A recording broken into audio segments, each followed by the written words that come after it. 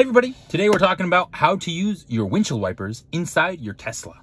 So first, on your left stalk here behind the steering wheel, you have a button. You click it once to wipe your windows once. Perfect for when your automatic windshield wipers are a little slow and you need to catch them up.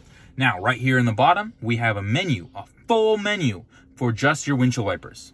You click on here, you have slow, medium, fast, and even faster. And my personal favorite, auto.